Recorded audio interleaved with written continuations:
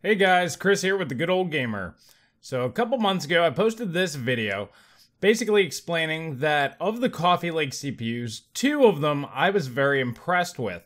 That was the i3 8100 and the i5 8400. Now, today, Intel has released their H300 series boards and the B300 series boards.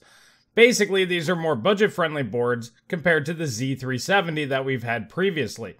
And in that video, I went ahead and said pairing those CPUs with budget friendly motherboards would make them extremely appealing to gamers. And that day has finally come. Unfortunately for the i3 8100, AMD released the Ryzen 3 2200G, a quad core CPU with integrated Vega graphics. For that 100 to $120 price point, this thing is just a much better value. The Core i5-8400, however, is still a very appealing option, and now with budget-friendly motherboards, it's time for this thing to really shine. Looking at the H310 motherboards, they start at only $57.99, with shipping about $60, and the B360 board starting at $69.99, or about 75 bucks if you include the shipping. Now over here, I have the i5-8400 priced with the ASRock motherboard. Now, that's a more expensive board, so of course this price could be lowered even. But over here, I have the least expensive Z370 motherboard on Newegg right now, along with the i5 8600K. And as you can see, even still, there's about a $100 price difference. So with at least a $100 difference between them, does it make sense to go ahead and get the overclocking motherboard, get the overclocking CPU? Well, let's take a look at how the 8400 compares to the 8700K.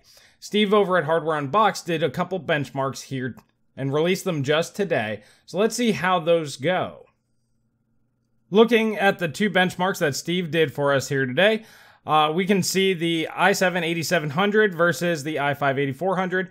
We're looking at 110, 111 frames per second versus 104 frames per second. So we're looking at a 6 to 7 frame per second difference.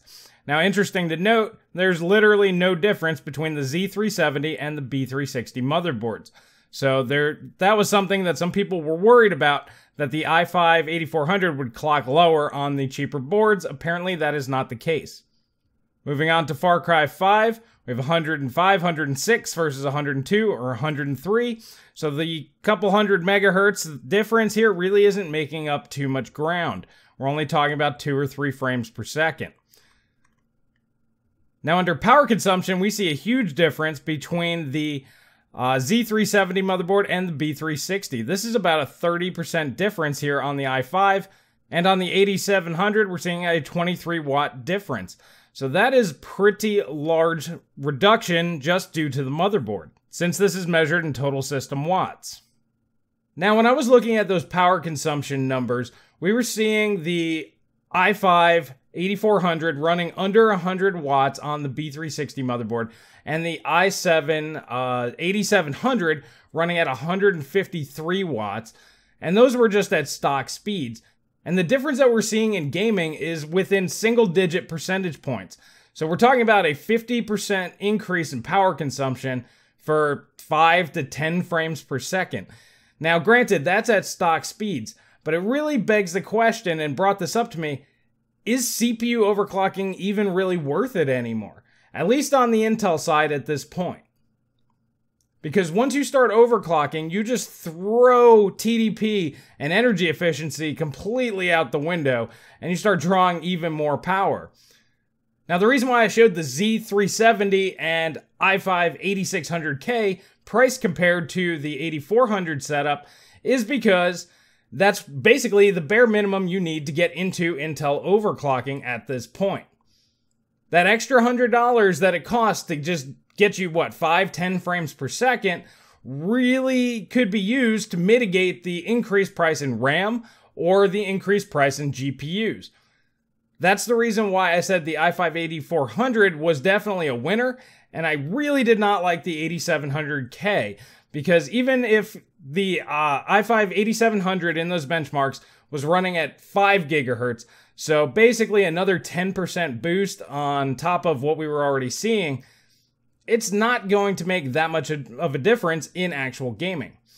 Now, let me be clear. There are those out there that overclocking is the main reason why they get into PCs at all. That's what they like to do. They like enjoy the tweaking. That actually is the hobby. But for PC gamers as a whole or in general, it's not really worth it in my opinion. I don't think the extra cost, the expense, the inefficiency uh, is actually worth it. You know, to really get those high overclocks on the 8700 or even an 8600K, you have to go through delidding, then you have to tweak the system, and then, I mean, it's a lot of time. Now, there's, like I said, there's people that love that, but to me, there are many other things out there that you could use an extra hundred to even $200 on. I use the cheapest Z370, for example. A decent one's about $150. And that's not even going over the fact that you also need to get cooling for that. So you probably need like a 40 or $50 uh, water cooling kit at a minimum, uh, but most people will likely spend even more. With the i5 8400, Steve went ahead and tested it with the Intel stock cooler that it comes with, and it did not thermal throttle whatsoever because it's only a 65 watt CPU. So there's plenty of cooling potential in that tiny little heatsink that most of us throw away to actually handle that. And because you can't actually overclock whatsoever on the B360 or an H310 motherboard, it doesn't really matter. So, in my opinion, that's definitely the much better value, and that's the way I would recommend people go. Uh, you can get away with the H310, but you're going to get more benefits and features on the B360 motherboard. It will cost you a little bit more, but if you want features like USB 3.1, Type C, and things like that, it might be worth a couple of extra bucks to you. Now, I've talked mostly about Intel in this video, and it's because the new Ryzen 2000 series is coming out in just a couple of days. And AMD, at least at this point, it typically made sense to go ahead and, and overclock those CPUs because you can get the 1600 or the 1700 for much cheaper than the 1600X or 1700X. But I recently picked up an R5 1600X and the reason why I did that was because there's no overclocking necessary on this CPU. And right now they're selling for maybe $10 more. I've seen a 1700X for about $10 more than a 1700, and I got this for about $10 more than a regular 1600. So with this guy, I didn't have to overclock. I just popped it in and it's already running at 3.9 gigahertz right off the bat, which on my 1700 that I had last year, uh, that I could only get up to 3.9 with massive voltages and typically left it at 3.8. So on the AMD side, it's kind of up in the air. We don't know how the Ryzen 2000 series is going to go, but at least on the current Ryzen system, uh, you might as well just buy the X CPUs and then you don't have to worry about overclocking at all. Now, it does cost you a couple extra bucks, and you will have to buy a cooler with these. At least the uh, 2600X and 2700X will be coming with coolers, and that helps keep their prices down a little bit more. It seems to me like on both sides, at least today, as of right now, overclocking just doesn't make a lot of sense unless you love it, unless it's your passion when you can get maximum AMD performance pretty much straight out of the box and you can get such value. You can get like 95, 90% of the performance of an 8700K for less than half the price basically. And the the efficiency that you have in such a setup is amazing. So, both sides of the aisle, they both have their options to where overclocking just doesn't make sense in today's schemes we don't really know where things are going to be tomorrow.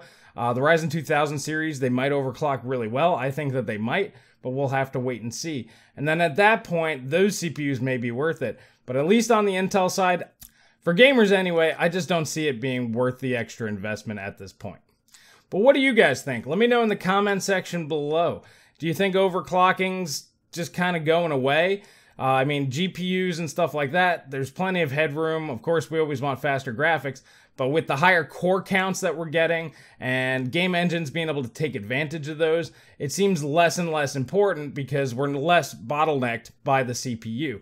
We're not stuck on quad cores anymore, thankfully, and it seems like that's alleviated most of the headroom. But let me know what you guys think in the comment section below. If you like this video, please hit that like button. Please subscribe. Please share with friends. And if you're interested in picking up any of these parts, I'm going to go ahead and put links in the description uh, over to Amazon. You can pick those up, and anything you buy, uh, that actually help out the channel. And what I'm going to do is I'm actually going to put up a poll in a couple of days and see what you guys think I should do with those funds and reinvest it into the channel. I was going to do a 2200G setup, but I'm thinking about possibly doing one or two other setups, and I'll get your guys' thoughts and see exactly what you guys think we should do with that. But for now, guys, that's all I've got, and I will catch you guys in the next video.